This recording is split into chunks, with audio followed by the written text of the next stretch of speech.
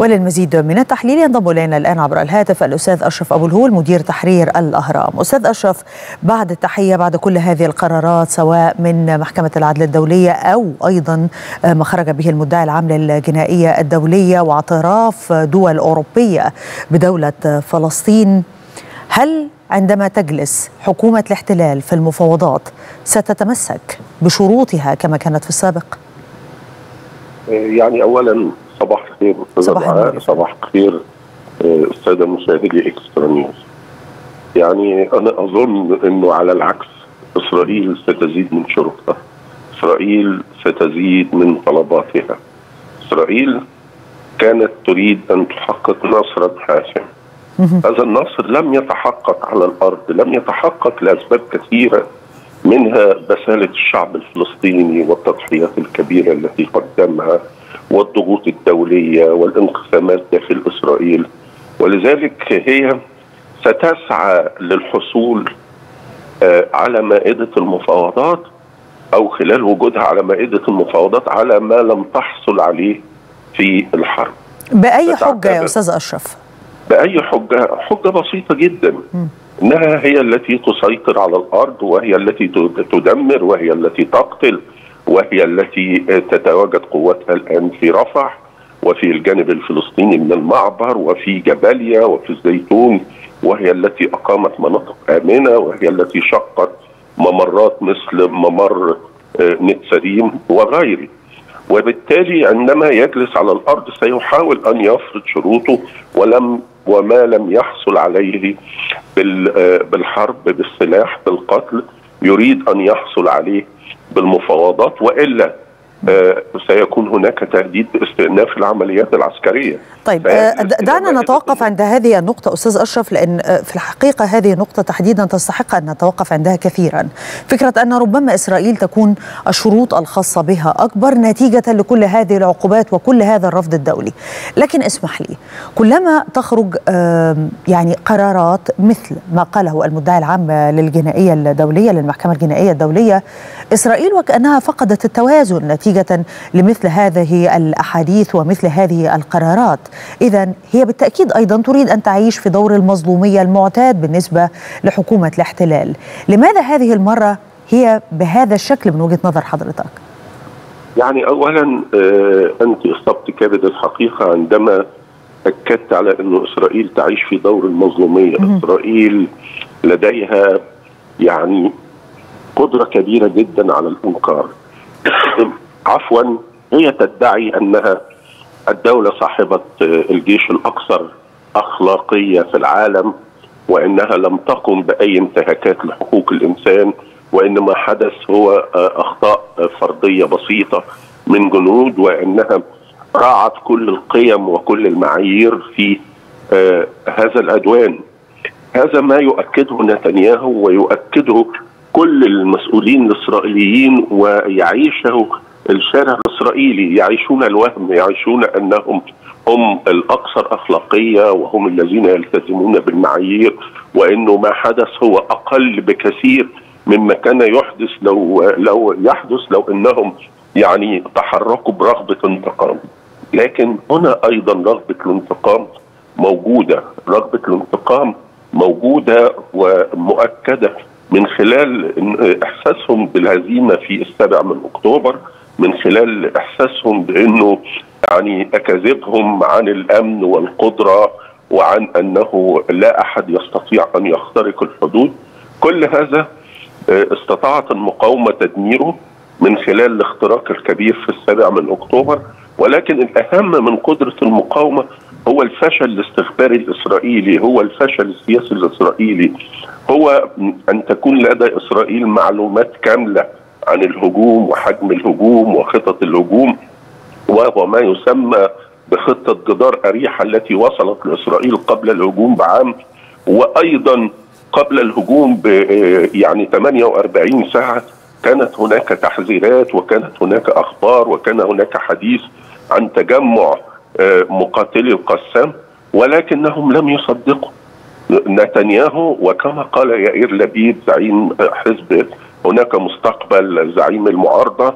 أمس إنه نتنياهو وصله يعني وصلوا تعميم أو قرار بإنه أو معلومات كاملة بإنه هناك وفي, وفي الأيام الأخيرة أصبحوا ينفون مثل هذا الخبر. هو ينفي لكن يائير لبيد. أمس قال إذا كنت أنا كزعيم معارضة حصلت على يعني إفادة بما يحدث. ألم يحصل عليه نتنياهو الذي ينفي؟ هو قال لا. أنا ردعت حماس. حماس لن تجرؤ.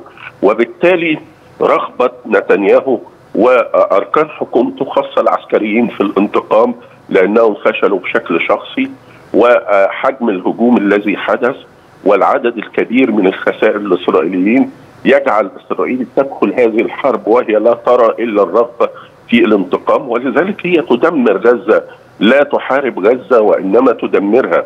يعني في الأيام العشر الأخيرة عندما أعادوا احتلال جباليا تقارير أول أمس تقول إنه تم تدمير 85% من من المنازل والمباني في جباليا التقارير تقول إنه مئات الجثث في الشوارع. التقارير تقول إنه أماكن لم تكن ابدا من معاقل المقاومة في جباليا تم تدميرها. هذا ما يحدث في الزيتون نعم. لكن أستاذ أشرف بعيدا عما تقول وتقول وتقوم به قوات الاحتلال وحكومة الاحتلال إلا أن أغلب دول العالم والمنظمات الأممية أصبحت الآن تتحدث عن أنه لابد من الوقف الفوري للعمليات العسكرية في غزة وفي رفح أن إسرائيل متهمة بالإبادة الجماعية. اذا كيف ستكون إسرائيل في المفاوضات؟ وهذا هو السؤال الأول اللي حضرتك كان إجابتك أنها ربما تكون متشبثة بشروط أكثر.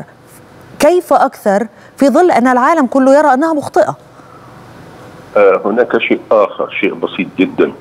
إسرائيل بدأت الآن تروج إلى إنه العالم عاد يعادي السامية وإنه العالم متواطئ مع العرب وإنه العالم يرفضها وإنها لابد أن تخوض معركة وجود وإنه يعني لدرجة أمس التهديدات التي ظهرت في داخل إسرائيل ضد محكمة العدل الدولية وقبلها التهديدات التي وجهت السيد كريم خان المدعي عام الجنائية الدولية وحتى المساندة الأمريكية غير المحدودة عندما يقول السيناتور ليندسي جراهام لتذهب محكمة العدل الدولية إلى الجحيم نعم. وأنه محكمة العدل الدولية والجنائية الدولية والأمم المتحدة الكل يعادي إسرائيل. هذا ما تشعر به إسرائيل الآن. تشعر أنها عادت إلى العصور القديمة عندما كانت عبارة عن جيتوهات أو كان الشعب اليهودي يعيش في جيتوهات.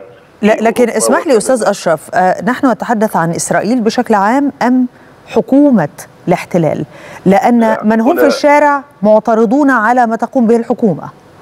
لا لا هذا كلام غير حقيقي.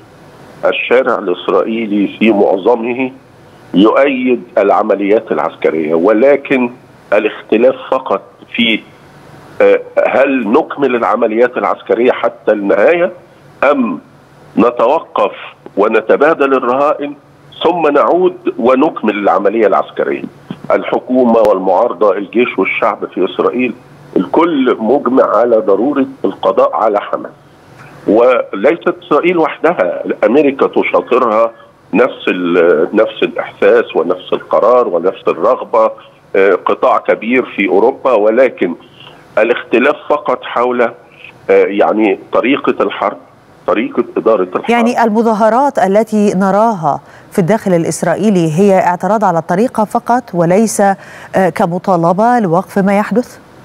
لا لا لا لا توجد مطالبة حقيقية في إسرائيل بإيقاف الحرب لكن هذه المظاهرات يعني أولا جذور هذه المظاهرات لم تبدأ مع هذه الحرب وإنما منذ ما قبل الحرب عندما جاءت حكومة نتنياهو وبن جبير وسموتريتش وحاولت التلاعب بالقوانين وأصدرت ما يسمى بقانون التخطي أي أنه يمكن للقضاء أن يصدر أحكام ولكن يمكن للكنيسة أن يرفض هذه الأحكام طالما هي لا يرى أنها ليست في مصلحة الحكومة أو يرفض أو ليست في مصلحة أعضاء الكنيسة.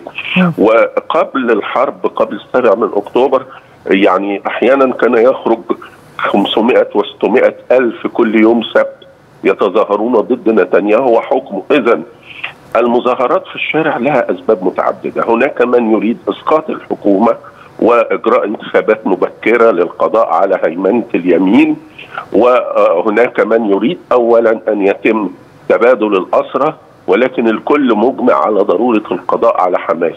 وهناك من يقول يعني نتبادل الاسرى والرهائن ونوقف الحرب قليلا ثم نستأنفها بطريقة ذكية وليست بطريقة الضغط المتواصل ولكن بالطريقة التي خططت لها إسرائيل فعلا وهي إنها جرفت غزة أقامت طرق طولية وطرق عرضية تسيطر على غزة من الجو بالطائرات المسيرة وتسيطر ميدانيا بالدبابات وبالمدفعية ويمكنها أن تدمر غزة وتواصل الحرب دون أن تدخل. اذا الصورة في النهاية ليست كما نرى إن الكل لا يريد الحرب، لا. الأغلبية يريدون التبادل اولا والكل يريد إجراء الانتخابات ولكن لا لا هذا ولا ذاك يعني أنهم يريدون إنهاء الحرب بشكل كامل هم يريدون القضاء على حماس بالكامل طب أستاذ أشرف عفوا هنا فضل. أريد أن أقول شيء م. يعني هناك يعني معلومات أو لا أقول معلومات ولكن شعور كامل في إسرائيل إنه إذا توقفت هذه الحرب وحماس موجودة في غزة فحماس قد تحاول تكرار ما حدث في السابع من أكتوبر مرة أخرى وأيضا هناك يعني شعور كامل إنه إذا توقفت هذه الحرب فإنه بهذا الشكل فإنه سكان مستوطنات الغلاف لن يعودوا إلى المستوطنات وبالتالي لا أحد يجرؤ على المطالبة بإنهاء الحرب وحماس مستمرة في حكم غزة. نعم فكرة يعني حكومة الاحتلال أصبحت تستخدم فكرة الفزاعة حتى بالنسبة للمواطن الإسرائيلي. طيب خلينا نعود مرة أخرى إلى محكمة العدل الدولية وقرارات محكمة العدل الدولية وما قاله الأمين العام للأمم المتحدة. عندما قال إن قرارات محكمة العدل الدولية وفقا لنظامها الأساسي هي ملزمة. ماذا تعني كلمة ملزمة؟ وماذا إن لم تنفذ؟ هي بالفعل قرارات ملزمة أي أنها يجب أن تنفذ.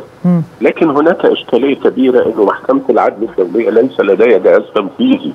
ليس لديها قوة تنفيذ جبرية يمكنها أن تذهب إلى هذا البلد أو ذاك وتدخل وتعتقل وتفصل بين القوات وتطرد هذه القوة أو تلك. ولذلك فهي تعتمد في التنفيذ على مجلس الأمن. يجتمع مجلس الأمن ويعني يصدق على أي قرارات لمحكمة العدل الدولية ويبدأ في تشكيل قوة للتنفيذ ويعني هذا أمر يمكن أن يحدث إذا كنا نتعامل مع دولة مثل دولة أفريقية دولة ليست صديقة للولايات المتحدة إذا كنا نتعامل مع قوة معادية في أمريكا اللاتينية أو غيرها. ولكن في مجلس الأمن هناك العقبة الكأداء المسمى بالفيتو هناك خمس دول كل دولة تملك نعم. نتحدث عن أنها ملزمة لكن الفيتو من الممكن أن يستخدم أيضا بالتأكيد. حتى بعد هذه القرارات في مجلس آه. الأمن. نعم. بالتأكيد. نعم. الفيتو يمكن أن يستخدم ومنتظر أن يستخدم لأنه أمريكا ما زالت تؤكد أنه يعني حل هذه القضية يكون على مائدة التفاوض وليس من خلال الأحكام أو من خلال المنظمات. وأن حكومة الاحتلال لم ترتكب الإبادة الجماعية. صحيح نعم وأمريكا تنفي نعم. حدوث إبادة جماعية. نعم الأستاذ أشرف أبو الهول مدير تحرير الأهرام جزيل الشكر لحضرتك على هذه المداخلة وهذا التحليل.